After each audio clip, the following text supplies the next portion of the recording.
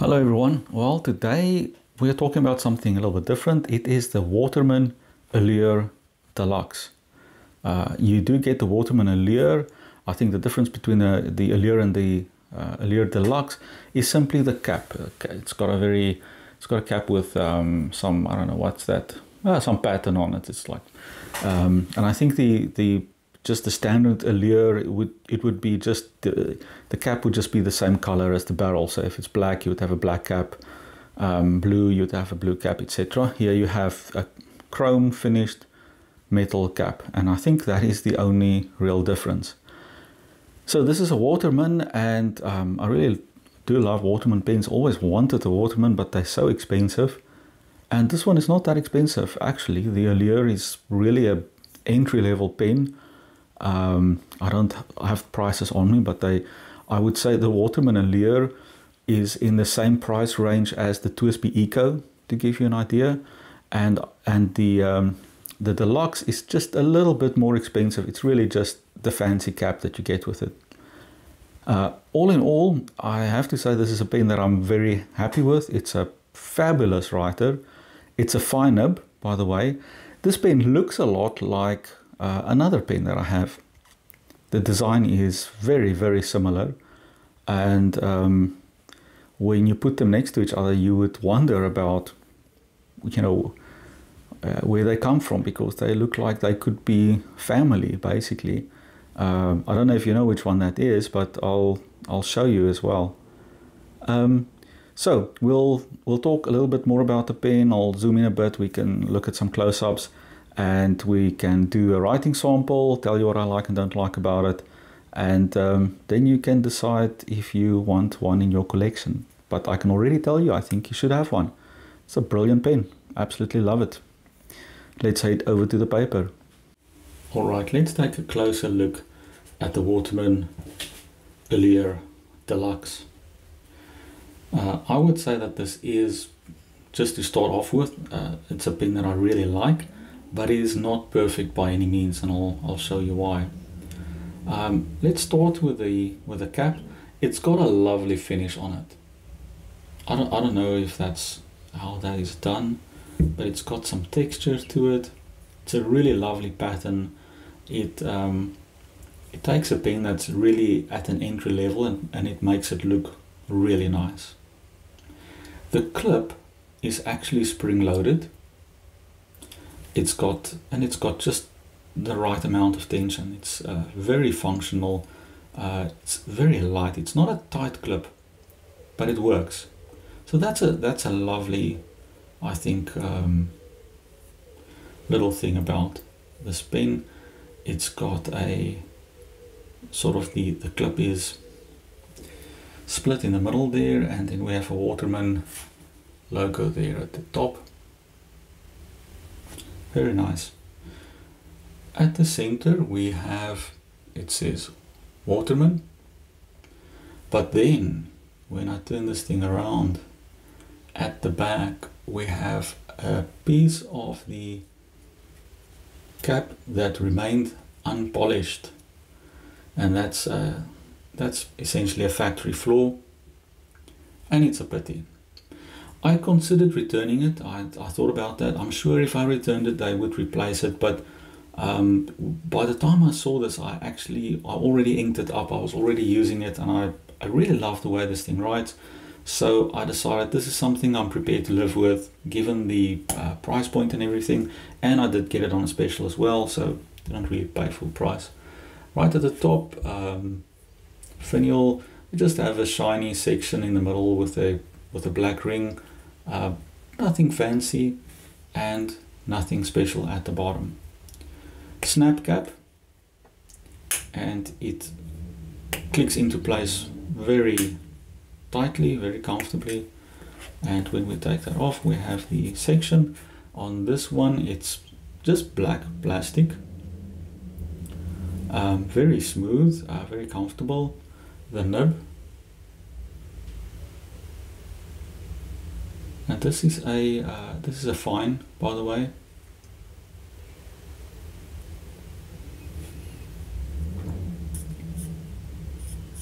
Barrel on screws, plastic on plastic threads. very smooth um, by the way it's very nice and we use a Waterman proprietary cartridge in this one I'm sure you get converters I don't have one uh, I am fine just taking the cartridges and you know cleaning them out and using them again. I have absolutely no problem doing that. The ink in this one um, is actually Sheaffer black. So let me just show you what I've got here. So this is the ink that I put in this one. I just love the Sheaffer inks. They are so reliable and consistent. And I, I can say very much the same about this pen as well. It's, it's just a very reliable, consistent writer, and I think the Sheaffer ink goes very well with this pen. Uh, with a fine nib, I prefer to use dark inks, and I would use a lighter ink with a medium or a broader nib. Uh, I just find that it doesn't work that well to use a light ink with a fine nib. Then it, you know you don't. It's not all that visible, but um, the black works nice in this pen.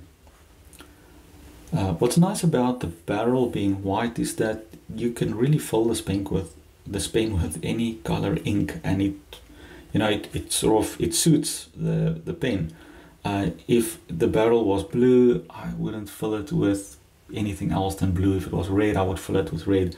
It's just the way I think. I know you know some people don't care about stuff like that but that's just me. Alright, so let's do a writing sample. I'm using Rhodia dot pad as usual, just good quality paper. Oh, before we do the writing sample, I wanted to show you this. So this is the Waterman. This is the Parker Vector XL. And when you put these two pins next to each other, there are some similarities that are hard to ignore. Uh, when we look at the top of the pin, there are some similarities. The clip, uh, different, yes. The rest of the pin, I would say very similar, very suspicious, no? We take off the cap we put them side by side and the nibs I think are essentially identical the section pretty much identical. The barrel yeah pretty much identical. So I won't say too much about that and the Parker Vector is a pin that I will review at some point. But for now let's just have a look at the Waterman. Does it post? Yes, it posts quite securely. Again, I don't really need to post my pins, so I'm not going to be doing that.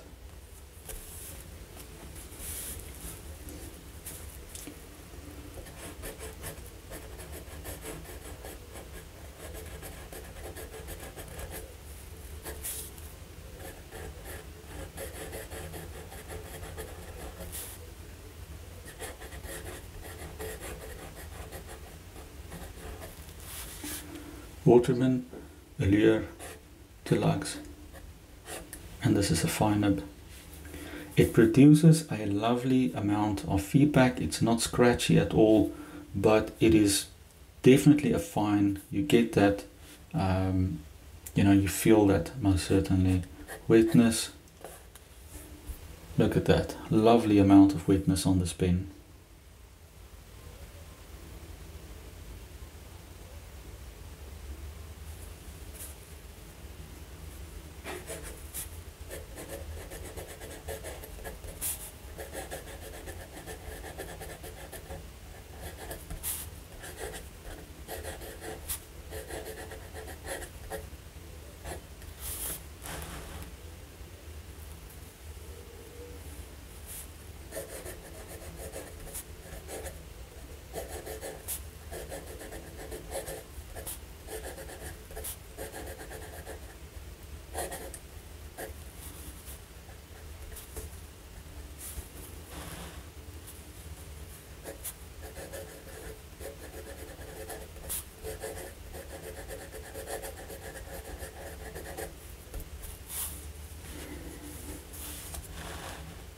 Would you get any kind of um, flex out of this nib?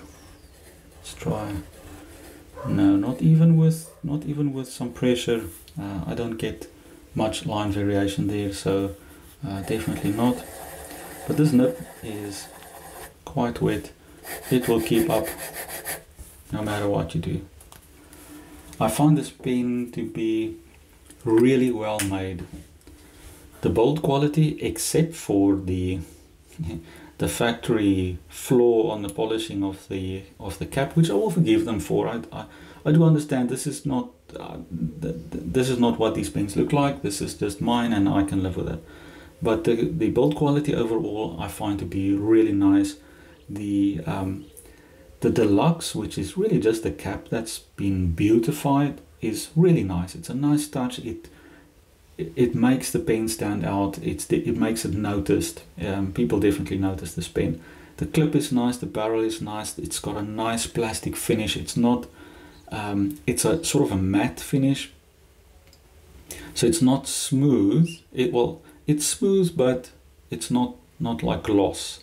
It's not going to uh, show up fingerprints either. The size of the pen I find to be ideal. The weight of the pen is ideal the section is so comfortable to hold. Really everything about this pen is just the way that I like it. Um, it is one of my best writers. I use it all the time because it is it is just a pen that works. It looks beautiful. You can take it anywhere. It always catches the eye.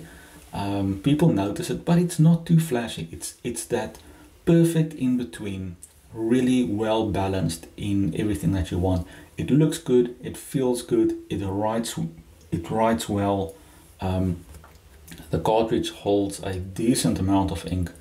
All in all, this pen for me is an absolute winner.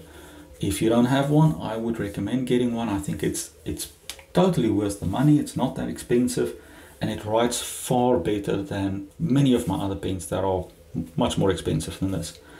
Uh, Please remember to like and subscribe, leave a comment, uh, let me know if you have a Waterman like this, if you have a, an Allure or Allure Deluxe.